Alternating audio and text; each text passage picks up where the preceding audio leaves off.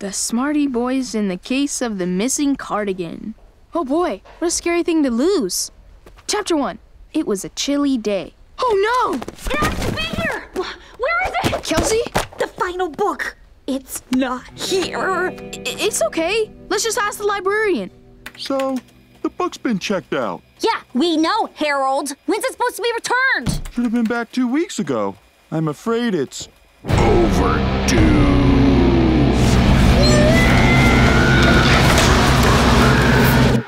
So, would you like me to put you on the wait list? I demand to know who checked it out. Sorry, that would be a violation of librarian reader confidentiality. He's not worth it. I need to know how it ends. I've spent years reading these books. I need to know what happens to Yithrith. It's Cricket.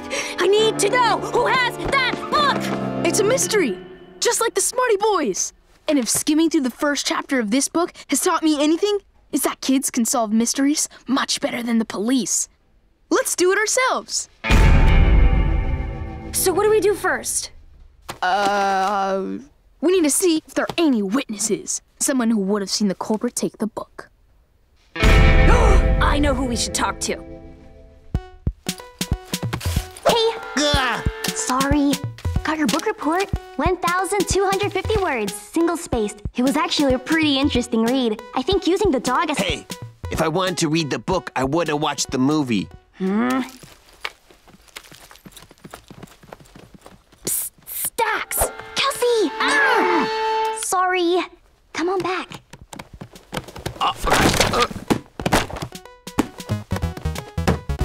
It's good to see you, Kels. Menses the dragon with you? With honor and fire as she does with you. So, what did you think about book 16? When Yithrith found out he was the heir to Scandermouth, I got goosebumps! All those years living in Flathertown with Sticklepick the I think they're the only two kids who read these books.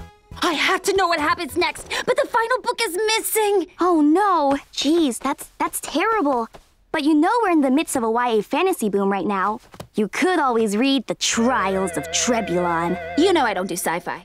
I need to know what happens to Yithrith. Do you know who checked it out? Hmm.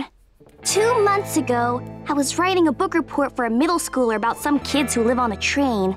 I remember seeing a suspicious kid in the young adult section, right next to the Dragonmancer books. They had a red turtle shell backpack. I bet they're the one with the final book. Our first clue!